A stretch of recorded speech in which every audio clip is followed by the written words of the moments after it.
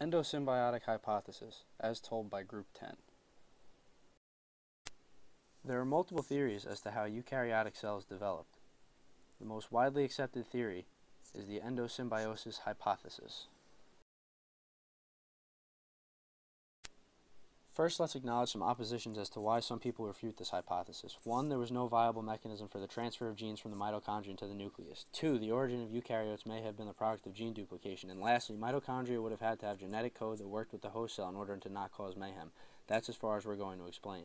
The evidence supporting endosymbiosis is robust. Lynn Margulis was the first person to argue for endosymbiosis in her paper that you got right down there. Let's set the stage 2 billion years ago, when the first endosymbiosis occurred. The theory proposes that an early prokaryotic cell engulfed a bacteria, but the bacteria was not digested. The cells actually formed a symbiotic relationship. No way! Even more surprisingly, this bacteria became what we know now as the mitochondria. Now these two seemingly independent organisms became dependent on one another. So how do we know that the bacteria and the mitochondria are related? Within this new organelle there is circular DNA much like the ones found in modern day bacteria. Scientists also use DNA sequencing to provide evidence of these similarities.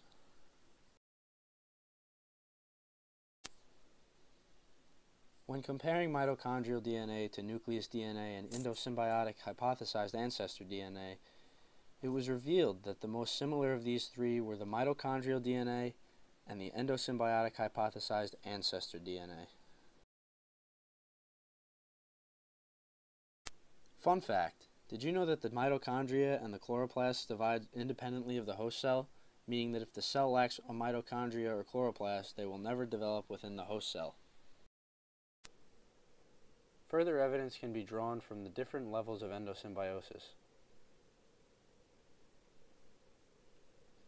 Every time a cell is enveloped by another cell, they develop another phospholipid bilayer. There is a double phospholipid layer in both mitochondria and chloroplasts, suggesting they underwent primary endosymbiosis. The euglena. Euglena's chloroplasts have three phospholipid membranes from secondary endosymbiosis. Scientists use darkness and chemicals to destroy plastids without harming the euglena.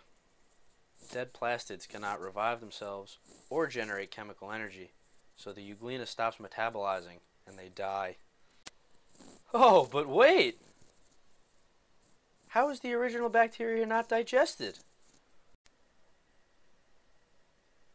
Lokiarchaeota and Archaea has an array of signature eukaryotic genes thought to be critical for enabling endosymbiosis. These genes are involved in membrane remodeling and vesicular trafficking. This allows the Lokiarchaeota to engulf a mitochondrial-like cell and not digest it, but integrate it. Another theory of endosymbiosis. James Lake proposed that gram-negative bacteria's two-membrane wall is likely a result of endosymbiosis. It is hypothesized that the two thin layers on gram-negative bacteria originated from the fusion of archaea and gram-positive bacteria. That would give us the peptidoglycan cell wall between the two membranes. In conclusion, endosymbiosis explains the evolution of eukaryotic cells through the engulfment of another prokaryotic cell. The engulfed cells serve as organelles in the cell, such as mitochondria or chloroplasts. These organelles have their own circular DNA and divide on their own. Special genes allow for the engulfed DNA not to be digested, and endosymbiosis can also be used to explain the gram-negative bacteria's double membrane cell. Created using Powtoon.